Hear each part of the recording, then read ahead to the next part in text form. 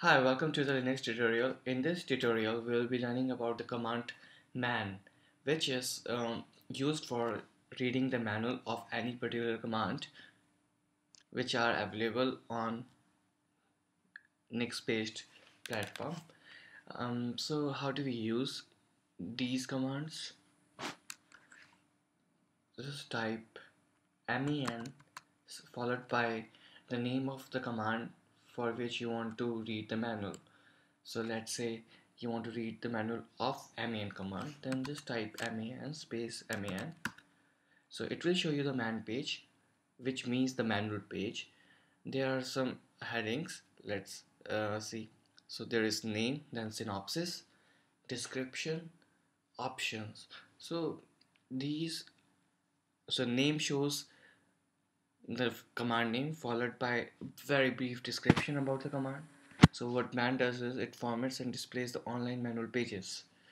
Synopsis will show you all the possible parameters available in that particular command. So name, so how will it be written? Um, it will be written like the command name followed by the parameters. So mans followed by hyphen a and it can be hyphen C, hyphen M, hyphen P, capital C. So these are case sensitive parameters.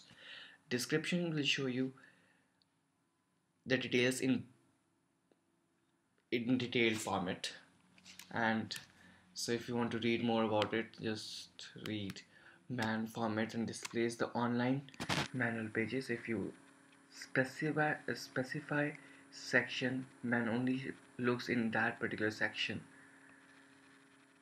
Then there are some options available which can be used.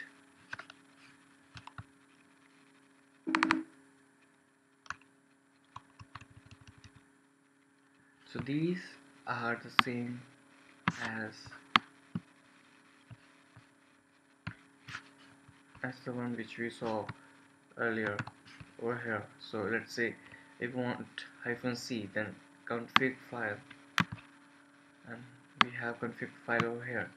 So these so option will show um, details of the parameters or app options. And then there must be some examples as well. Many of the command has the have the examples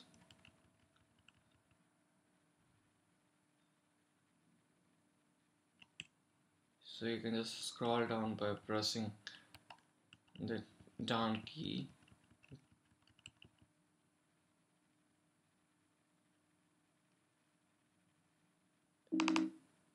Author means who wrote the command man so many of the commands are contributed by different developers. Man is one of them.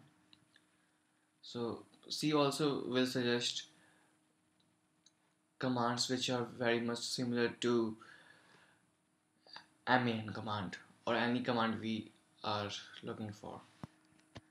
So thank you for watching the video. In next we in next video we'll be learning about command ls which is used for listing down the directories and files of any particular directory. Thank you for watching the video